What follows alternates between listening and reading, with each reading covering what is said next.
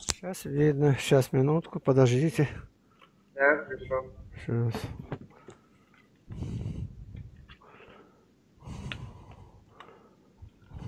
Что-то тут почему-то не видно.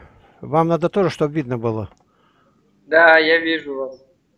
Ну, вас что-то так в темноте, как находитесь. Лицо не освещено, так туманное. Немного не освещенно просто. Плохой свет. Так, кто вы, откуда и для чего пришли? Александр меня зовут, я с Санкт-Петербурга. Пришел пообщаться просто. Так, откуда вы, где живете? Санкт-Петербург. Санкт-Петербург. Да. Ну, вы, если у нас знаете порядок, то мы записываем все, выставляем в интернет. Вы не против? Хорошо, Эта проблем. запись, эта запись тоже выставляется. Слушаю, говорите. Хорошо, я бы хотел поговорить об атеизме. Как вы относитесь к атеистам и атеизму в целом? Ну, как написано, Псалом 13 и 52. Это как написано? Псалом 13 и Мгм. 52. «Сказал безумец, в сердце своем нет Бога. Они развратились, совершили гнусные преступления, нет делающего добро, нет ни одного». Вот отношение, которое Давид сказал 3600 лет назад. Я его придерживаюсь. Атеист – плохой руководитель общества, Виктор Гюго. Я с ними очень хорошо знаком. Для них ничего не существует. У каждого в душе написано «разрешено все». А то там говорится у Достоевского, братья Карамазов, Иван Карамазов говорит, если Бога нет, все позволено, можно только скрыть. Поэтому судьи оборотни, полиция оборотни, везде оборотни пишут. Я беру из Это- прессы. Это, к сожалению, правда. А как вы относитесь к РПЦ и почему вы из нее вышли? Это так и есть то, что они оборотни, но все равно же, они же как-то держат в своих руках вот это вот все. А что они держат-то, когда есть церковь и действие? Когда церковь загната в угол, ничего не может. Наступает репрессия, они уничтожают друг друга. Вся Ленинская гвардия пошла под нож. 66 миллионов. Это вы курите, что ли, и во время разговариваете? Все, тогда разговор окончен. Вы что, в уме? Я буду... Да вот вы в тумане-то я сидите. А, Курящий извините, пожалуйста. самоубийца. больше- Тогда разговор наш будет закончен сразу. Хорошо, не буду. Извините, пожалуйста. Покажите руки. Больше не опускайте. Время от времени так показывайте, чтобы вы не взяли ни... Это мерзость. Уста курящего. Вы знаете что? Демонская кадильница, Ян Кронштадтский сказал. Я очень хорошо знаю курящих. И в камерах прошел с ними везде. Это отвратно. 12 лет жизни сразу обрезано, и последние лет 20 будешь харкаться, и рак легких тебе готов. Зачем тебе молодому человеку? Что она дает? Э, Неестественно, была бы труба выхлопная на голове или где, ничего этого нету. Ну, нервы так. Какие можно. нервы? Нервы нету. Нервы – это дверь сатаны. Таких слов Библии не знает. Ни святые отцы, никто. Что значит нервы? Поясните. Мне А что 78, значит верить мне, сатане? повторяю, мне 78 лет, я еще не узнал, а вы уже узнали. Вы еще не Ага. жили, а уже узнали. То есть Но- вы берете то, что не надо. Зачем вам это? Пожалейте сами себя. Возраст же это не определение умственных показателей. Делающий грех есть раб греха. Повторите.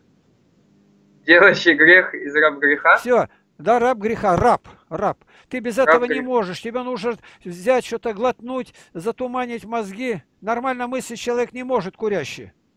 Курящий человек, он все время в дыму находится. Жженая трава, это сатана любит, чтобы ему воскуряли, его жертва. А ты бросить можешь? Он говорит, я бросил. Я говорю, когда? Вчера. Три года, если в рот ты не брал, можно говорить, что бросил. А пока нет. Ты раб.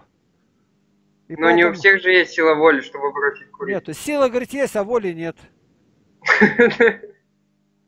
Я понял вас. А как вы относитесь к другим вот таким наркологическим заболеваниям, заболеваниям, наркотикам? Я пока отвечать ничего не буду, я только спрошу вас, вам зачем знать это? От меня очень интернет переполнен всеми сведениями. Зачем вы ко мне идете с вопросами, которые вы легко можете найти и прочитать? Это огромная литера- литература понятно. огромная. У меня порядок такой, я отвечаю на один вопрос, а потом отсылаю к своим ресурсам. А вы ответили, что бываете на сайте у нас, вы знаете, там 4124 ответа я даю, только на сайте. Тысячи. Это не, не два вопроса. И они Да, я 50 понимаю. разбитые. А я вот как смотрю, там какое отношение? Смотрю, они смотрю, они умирают пачками. Больше 36 лет, 6 лет никто не живет. Наркоманы там и прочее. Сатана похищает это- души. Это же их дело, чем им заняться. Вопрос в чем состоит? Их дело, а какое мне дело до этого? Ну вот, я про то же говорю. Ну то, вот чем что... раньше, чем раньше уйдут, тем земля поскорее очистится от этой скверны. Некоторые так отвечают.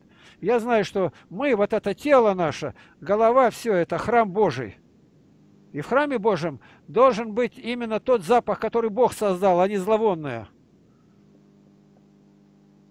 А к вам приехать можно? На, А зачем? Не знаю, встреча. Санкт-Петербург, центральный город, бывшая столица, и ехать куда-то. И зачем, когда вас не знает и курящий? Вы не знаете, о чем говорите. У нас написано при въезде в деревню, везде написано, курение на территории деревни запрещается. И с 27 Ну вот, лет, значит, это хорошо. вы видели, что я говорю, отвечаю, и вы перебили. Еще одно замечание, и мы расстаемся. Зачем спрашивать, если вы слушать не можете? Хорошо. У нас везде написано на территории деревни, не в доме. И оно не имеет никакого отношения к питанию, к пищевой промышленности. На каждой пачке написано, Минздрав предупреждает, курение опасно для здоровья. В краевой больнице везде висит надпись, курение и лечение несовместимы. То есть их просто выписывают. Я понимаю, это хорошо, когда так. У нас же тоже законы выходят потихоньку, что на улице, ну, не предполагается курение в Так, по делу говорите, это вы все знаете раз сами. Что у вас за вопрос, касающийся души вашей? А что делать, если я не чувствую? Ничего не делать, ложись и помирай. И чем раньше, тем лучше. И все? С- Смердеть не будете на земле. А почему? Раз вы восстали против Бога, против ближнего, против природы, против собственного тела. А зачем вы такой нужны-то? Труп ходящий. Господь говорит, гробы окрашенные. Зачем вы нужны-то? Вы хуже бродящего пса, хуже мертвеца. Мертвец зла не делает, а вы зло делаете, отравляете воздух. И все. А что больше не надо? Земля освободилась от скверны. Такого одра за хвост да в яму. Как вы все грубо выражаете? Да, Очень. не, я отвечаю так, как есть. Вы мягкие люди, но отравляете все своим дыханием. Почему все, если только слова, окружающие? разрушенные браки. Уже в школе, в седьмом классе на 86% не девственницы, развратницы на букву «Б». Вы ничего Но не это же замечаете? интернет их погубил, а не что-то другое. Я вам ответил. Вы успеваете запоминать. Спорить тот, кто ничего не знает. А кто знает, он возвещает истину. Но если бы правило только любовь, это были бы проблемы же. Так вам что нужно-то? Вот вы зашли. Конкретно. Конкретно ничего. Ничего нету, зря зашли. Потому что вы ничего не примете. Разум должен быть чистый. Бросьте курить, больше не приближайтесь, не брейтесь больше. Не берите, не калечьте себя. Не будьте похожи на женщину сластолюбивую. Лицо должно быть похоже на то, как Бог сотворил. Посмотрите, как Достоевский, Лев Толстой, Карл Маркс, как они выглядят, даже атеисты. Мужчина, мужчина. Почему в доме должно быть две мамы? Не знаю. Ну не знаешь, так а зачем бреешься? Подкаблучник. Неправда. Нет. Ну, Вот вы спорите уже. Я сказал, Извини. запоминайте, что вам говорится. Я еще молодой, я еще многого не понимаю. Мне всего Вы, 21. вы молодой, уже заражены всеми страстями. Я Да, наоборот от них ушел. не- Вы никуда атеист не может уйти. Он не может уйти. У него внутри написано, можно нарушать весь уголовный кодекс. Есть государство... Это неправда. Я не отношусь к этому, извините. Вы второй раз прервали, я говорю, отвечаю. Да, извините, я просто вам говорю то, что Нет, все я... на этом, я вас предупредил. Все, пока, до свидания. Я вам не нужен. Выключайте, пожалуйста.